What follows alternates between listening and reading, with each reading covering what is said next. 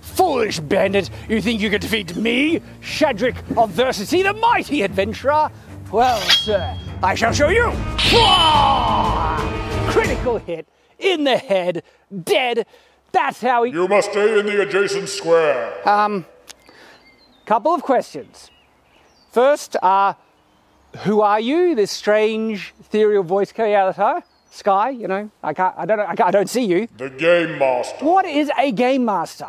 Basically, I'm like you know the god of this world. I control everything. Fair, fair enough. Okay, then. Uh, next question. Why do I have to stay in the adjacent five foot square? I, I technically didn't even step. Look, look. When I moved, foot still there, and hit. Uh, why? I don't make the rules. What do you mean you don't make the rules? You, you just said you're effectively the god of this world. I am the god of this kind of. Well, change the rules. What? Are you kidding me? Yeah, sure. Like next time I give you a skill check or a savings throw, you'll just say I made it up. And you I tried so hard at this, you have no idea, and you players just throw it back in my face without giving a proper gratitude at all. You suck. Do you need a Mountain Dew? Yes, and, and now you have syphilis.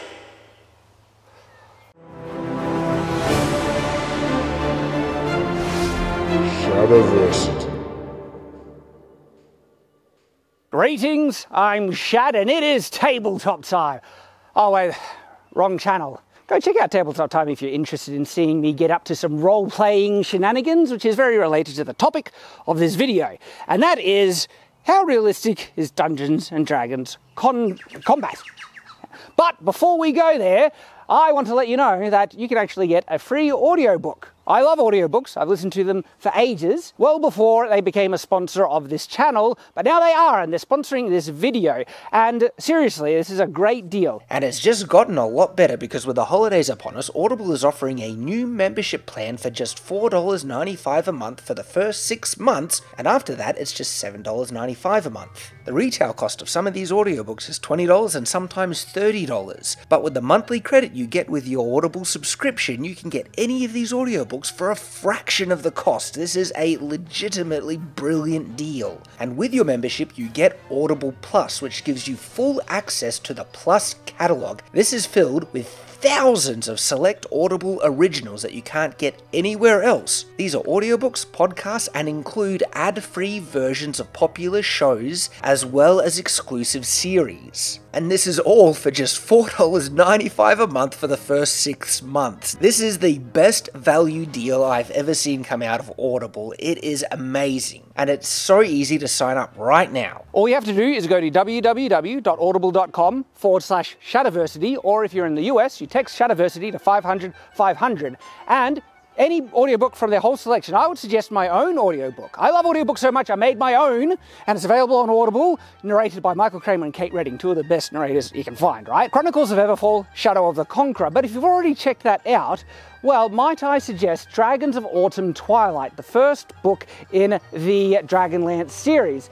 Dragonlance, in case you didn't know, is based on Dungeons and Dragons fantasy. It even has some of the classic Dungeons and Dragons spells in the book, with, of course, the classic fantasy races. And uh, what I say classic, Dragonlance is one of the grandfathers of, you know, modern classic medieval D&D fantasy by now. It's absolutely awesome. If you haven't tried it out, well, you can try it for free now. Okay, it's that simple. Just go to www.audible.com forward slash Shadiversity, or if you're in the US, you text Shadiversity to 500 500. Say thank you for Audible for sponsoring this video. So, a very fair question to ask in regards to the context of this video is why even bother? Why is this important? Because the rules as are for combat in Dungeons and Dragons they obviously work, and they've worked for many years. And I know because I've played D&D for ages. Started with first edition, Advanced Dungeons Dragons, 3.5 was my jam. Fourth edition, I didn't even get into, and I hear fifth edition is pretty darn good. And so clearly, it does the job what it needs to, because this is a game. It's not necessarily meant to reflect real life, but there's an important caveat there. And in regards to role playing, you are taking the role of an adventurer, and you often like to act out what they're doing, but even more so, you like to think of creative, unique ways to win against your opponents. And in regards to combat, that's actually a really fun, satisfying thing to think of. What if I did this to try and give myself an advantage to beat a difficult foe? And it is profoundly disappointing when you think of something that logically in the real life you should be able to do. You know the limits and lengths of your own physical abilities, and especially for someone who might be even more physically inclined than you, the adventurer you're role playing. We've all seen some Olympic level athletes do some pretty amazing things, so we know what a human of this level can generally do. And if you think of something that is creative and you technically it should easily be able to be done in the real world, and then you are denied because the rules simply don't allow it, that is profoundly dissatisfying. Like massively so. And I actually think there is a hole in the rules. Now, I'm using Dungeons and Dragons as the primary point of reference, and this is really just looking at D&D rules. But having said that, a lot of the limitations that I'll be pointing out here are reflective in a lot of other role-playing games. And so it would make sense if I point out or give suggestions of ways to improve it to make tabletop role playing game combat more realistic and therefore more satisfying to give more options to the players to uh, think of creative ways to win against their opponents. But the thing is, I've already done that. I, with my brother, Jazza, you might know him from the YouTube channel Jazza, have actually made our own role-playing game addressing many of the problems that we have found in classic role-playing games like D&D, uh, making combat more satisfying and realistic. And so as the point of reference for certain improvements, I probably will be actually referencing some of the uh, rule examples that we have in Cogent Roleplay as an example of how things can be improved upon. And you don't need to do it the way that we've done it in our own role-playing system, but maybe as inspiration to make some homebrew rules for D&D to fix up some of these holes, or even in their own systems that you're doing. Okay, so Dungeons & Dragons, fun fundamentally, functions are like that the adventurer has control of a five foot radius around them. This technically means, uh, when you look at the rules specifically, that no one can pass this area without encountering you. And that, that actually makes sense, okay? Because I have pretty, I, I can reach anywhere around me pretty quickly. But when it comes to combat, this is where things get a little interesting. The Dungeons and Dragons combat rules state that if you're using a uh, medium or even a large weapon that doesn't have reach, you can only attack people who are in the adjacent five foot area to you, or essentially five foot distance from you. Hmm. That's interesting. Now, as someone who has studied a bit of swordplay throughout my life, uh, if I so I will use Boromir here as an example, and uh, if I was to fight someone this close, this is profoundly dangerous, okay? In actual fact, when you're facing off against an opponent in swordplay specifically, and this is before you actually get engage in the bind or you're doing a move, because when you do that, yes, you can end up much closer, like the five foot distance here, but when you're just facing off opponents, being ready to offend one another, it's actually around 10 foot, like, like, literally from here to here. And just to point this out, I will, you know, stand here, okay, and bring in a opposing version of myself just over in that square. Now, if we're in this square and we lean forward a bit, Look how close our swords are coming to one another, okay? This is the area of danger. As soon as you get this close, suddenly not only can you hit them, but they can hit you very quickly. And so when you're facing off against an opponent, this is actually the standard range that you usually operate in. And so just in the basic stances of your opponents, five foot adjacent is way too close in real life. Uh, no, no. Uh, like I said, it's actually more, you know, distance to 10 feet. The next oddity in the Dungeons and Dragons rules is the uh, rule that you can only attack opponents five feet away from you with weapons that don't have reach. So let's, let's just double check this. And this is with a one-handed weapon, not even a long sword, which is longer. If the Dungeon and Dragons rules were more realistic, they would actually allow you to attack opponents 10 feet away from you, even if you don't have weapons with reach. But what if you do have a weapon with reach? All right, I have a pole arm, specifically my sword staff prop that I made for my video on the sword staff, okay? Uh, it's an actual real weapon. So, first of all, just without even moving, yeah, definitely, I can hit, strike the opponent 10 feet away. But what if I go an additional one foot? And from here, just lunging, absolutely, you can actually, without moving out of, you know, well, when I say out of, okay, I consider this a lunge and not necessarily a step. I would say a step is when you actually step, okay? Because your other, the, the, the back foot is not moving from position, and when you lunge, to strike your opponent. Oh, hang on, I didn't lunge far enough then, but you can do it. So lunge, look at that. So much easier, right? My foot didn't move. By keeping this back foot planted, I technically haven't moved out of that square. But what about great swords? Because I have always made the contention that great swords in the Dungeons and Dragons rules don't actually operate the way they do in real life. Real great swords are long, okay, particularly long, and therefore should have the quality or the weapon characteristic of reach. Uh, and like for just hitting people 10 feet away from you, cake, easy as anything, and that's not even with much of a lean. But what about the uh, you know weapons that really have reach, like the long sword stuff that I showed with that that could actually hit people 15 feet away from you? Well, I think it can, but this one is debatable because for me to reach you know that opponent, I'm gonna have to have my back foot really on the edge of the square here and do a very large lean. But I can absolutely strike him still keeping myself technically in this square. So yeah, I actually think great swords should definitely have reach, especially if there are other weapons that have reach that of similar size. Like this is the length of standard spear, okay? It's not as long as the sword staff, but the great sword is very close in length to this. And yeah, I could absolutely hit my opponent with this, keeping my foot in this back square. And so I think the actual ranges is that standard weapons can hit opponents 10 feet away from you, and reach weapons can hit opponents 15 feet away from you. I'm happy to acknowledge that that point can be debated a little. If you interpret the rules to mean that you can't attack anyone without most of your body being in the adjacent square,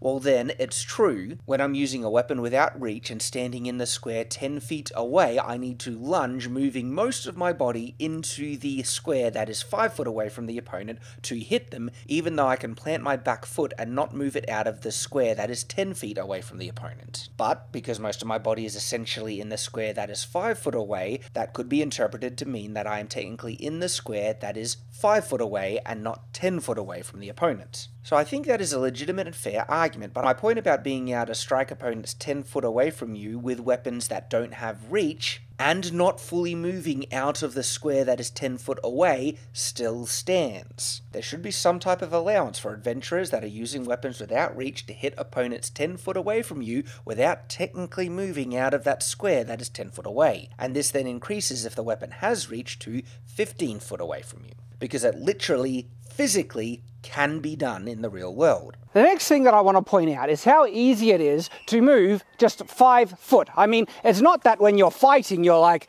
uh, da, da, da, da, and now I'm here. You can shift five foot distance with a single step that quickly and back. And how quickly did that take? It's like barely even a second, right? And so, with that in mind, I actually think moving to the adjacent square in a combat round should be a free action almost. And when you attack someone, even if you're, say, a square distance from them at 10 feet, when you attack, you have the option of either moving into the adjacent square or remaining in this square.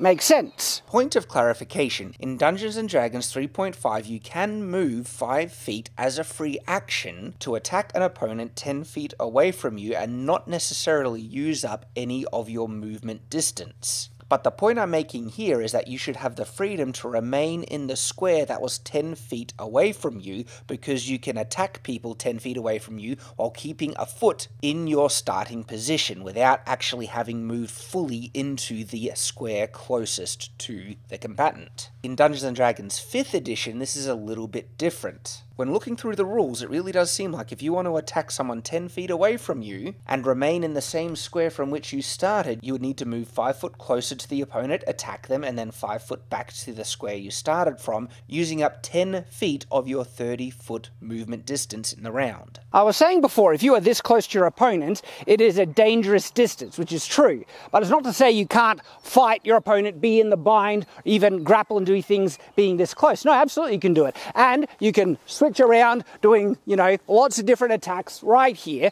okay? And you can defend yourself adequately enough. It's just a lot more difficult because it is so easy to hit your opponent right here. But no, you can engage in combat at that distance. It's just when you are facing off, before you get really close and start to do some actions, the standard distance and comfortable distance, the measure in which you, you know, keep to your opponent is around this, 10 foot. And just while I think of it, I generally prefer meters over feet.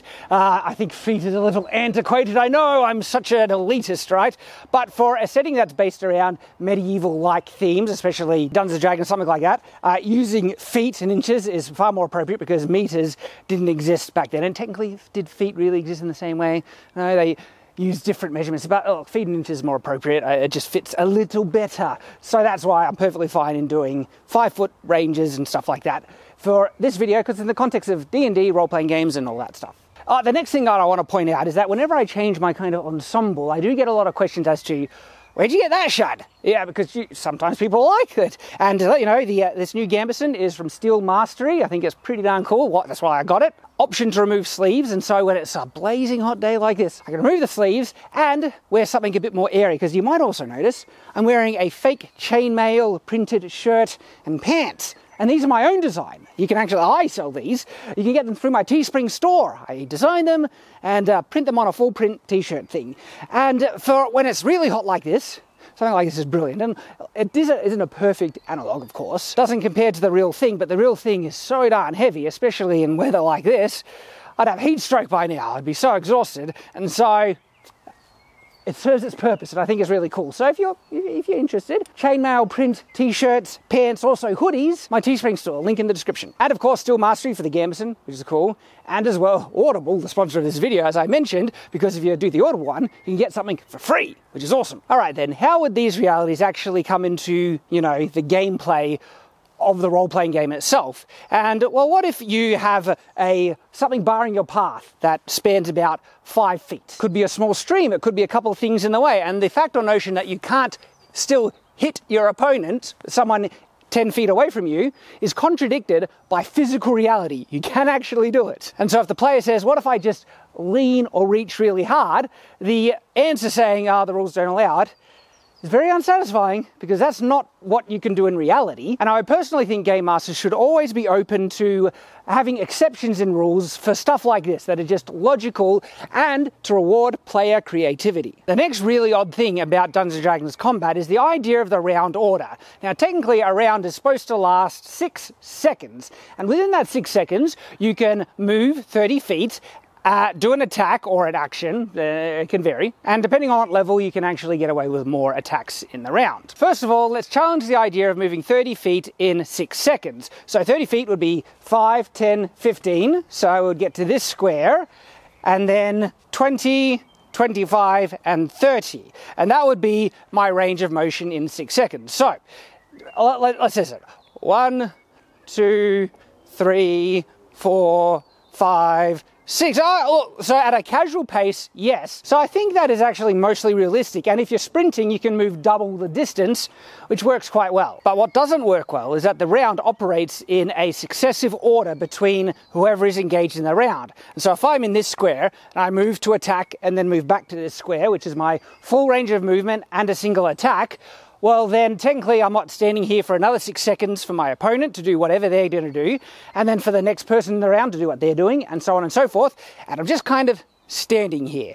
Now, I understand this is a gameplay mechanic, and we see it in video games all the time, but for role playing game, you can do it in such a way in which it's not unrealistic. It'll take too long to explain it in detail, but just briefly, the way that we've tackled it in, say, Cogent Roleplay is that everyone's actions happened at mostly the same time in the round. And we do that by having a mechanic called the combat roll. And in your roll, you say what you're going to do, which is going to technically happen at the same time other people do it. And if you are lower on the initiative order, opponents can say what they're going to do in response to what you're going to do at the same time to try and stuff up your actions because they have high reflex, they can react to what you're trying to do, and that's one of the benefits of reflex. And so if I wanted to jump on a table and my opponent has a higher reflex, he can say, I'm going to run to the table and flip it over. And so all the players are technically declaring what they're doing in the say at the same time, and then they do what is called a combat roll, which stands as their roll for the entire round and against every other opponent's combat roll. And so even if I'm getting attacked by multiple opponents, I don't need to make successive rolls to adjust for them all. The combat roll technically stands for your quality of actions throughout that entire space of time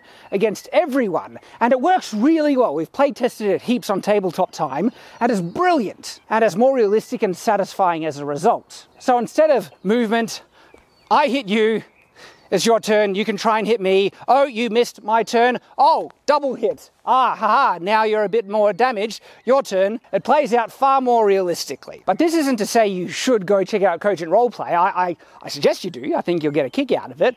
But it's also a way to demonstrate that it can be done more realistically in D&D and in any role-playing system you might be developing. Fighting multiple opponents is a very interesting thing when you try and visualize how it must play out according to Dungeons and Dragons rules. And it again comes off as very unrealistic and unsatisfying because if you have your primary opponent and say, you know, you're in the adjacent square and you attack them and then the other opponents are attacking you, either you're standing there doing nothing and let it bouncing off your armor, or if you do a more kind of interpretive way of looking at the armor class. And so if they hit under 10, that would be a miss because the base armor class is 10. If you have a dexterity bonus, if they hit within the range of the, your dexterity bonus, you dodge. And if they hit within the range of your armor as it goes up, it would bounce off the armor. And so there are interpretive ways you could be doing this, you could be doing that, trying to dodge. But with how long the rounds could technically play out, because every single person's move should by the rules stand for six seconds, it just comes off feeling very janky and awkward. And it's always kind of annoyed me that you couldn't just do one wide sweep and try and hit multiple opponents around you. And look, you can do it with certain feats in Dungeons and Dragons, but even a noob who should be able to just do a wide slash to offend a wider area. And so again, this is one of those things that logically you should be able to do, even if you're a level one noob, but the rules say you can't which is annoying. A point of reference that I'll now demonstrate from Cogent Roleplay, and again, this is just an example to perhaps give you inspiration, but also to show you that the system that my brother and I made actually works really well, is that your single combat roll for the round, if it is higher than a certain number of opponents that are attacking you, you can technically damage them if your combat roll was high enough, regardless of your level. And this very much depends on your opponent's combat roll because they're all kind of rolled to kind of play out at the same time. There are ex- exemptions when things have to play kind of one after the other, but everything essentially tries to play out at the same time, which makes the round dynamic and also the descriptive way of just the role play really engaging and fun. And so if you get a really high combat roll and this opponent and your two other opponents got really low combat rolls to the points where you get what's called a, an adva- or victory level. And depending on the victory level, you can choose to trip, to damage, to do any number of things. And so you could say, if you got enough of an advantage against all your opponents to trip them all up, you could say, all right, because you've got a high enough roll, then you can say, add the descriptive kind of element to it, which gets you really engaged in the role play. You can say, you just leant down, you did this wide sweep, knocking at all your opponent's feet, and afraid of the blade, they either jumped, knocked, tangled over, or you hit with the flat and you knock them all over in that single round with one action. And so this single combat roll can actually be applied to multiple actions in the round and it plays out awesomely. Oh, and just the important caveat that I was demonstrating from Cogent Roleplay is that uh, if your combat roll was only better than, say, this opponent and your two other guys beat your own combat roll, then you can adjust the descriptive way in which you describe how the round played out. Or the game master gets to do it. But you can say you got a really good strike against this opponent, but because your roll wasn't high enough to say damage these guys, they're attacking you. But say they didn't get high enough to do a victory level against you. So again, you describe in the narrative saying you're able to dodge, move around, or duck the opponents, or after you attack, you're able to sweep down and block. And so it becomes a far more narrative driven type of role playing, and it's, it's a lot of fun. I kind of jumped the gun a little bit because Jazza and I were intending on announcing this a little bit later, but because it integrates so well with the subject of this video, it's too much of an opportunity to let pass by. And it's that Jazza and I have been working on something really huge. We will be rolling out the beta of Cogent Roleplay in the most cool, awesome way than I think anyone is expecting. When Jazza and I revisited Cogent, we both realized how great a rule system it really is. It is so simple and streamlined, yet satisfies even the most demanding of role players to uh, give you all the options and tools you need to do anything you want. And that flexibility is held within a simple, versatile, and structured rule system that is really satisfying. So much so that we kind of feel this could be the role playing game of the next generation. And there are a number of things that we've always focused on, making it as accessible as possible. And one of the big things that we've done from the very get go, even with the alpha release, is that we've always made the core rulebook completely free. And now we have devoted hundreds of hours and spent thousands of dollars on making it even more accessible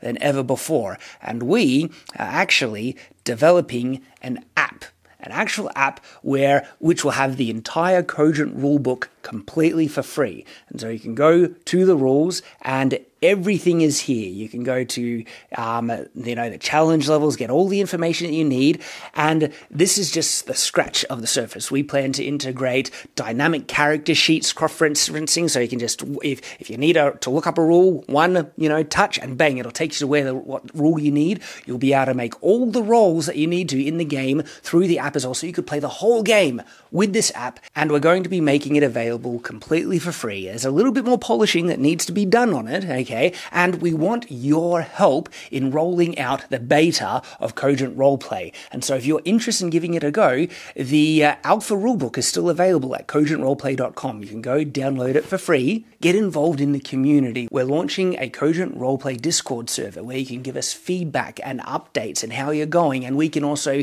test things with you for the rollout of the beta that's also going to be coming out on the app as well. And so this is hugely exciting. Sign up for updates at cogentroleplay.com as well and make Cogent Roleplay possibly could we? One of the best, most accessible, versatile, dynamic tabletop role playing game systems in the world. And so there we go. And as you've probably been able to tell, uh, let me just get that in there, uh, I have one or two pet peeves with the Dungeons and Dragons combat system. But look, this is not to say that the system doesn't work. It does, okay? And I'm not saying that every rule should be thrown out. Uh, and even though I was giving a comparison to other role playing systems that I feel address the uh, the things of, that you can do, you know, in the kind of what could a person actually do in these situations. I feel it does address it better. I think there are some little small tweaks that you can give to the D&D rule system to make it work a little bit better, like the range in which you can actually hit opponents how it addresses multiple opponents and turn order is always a tricky one. But as I said, I'm not saying you should throw out all the rules, okay?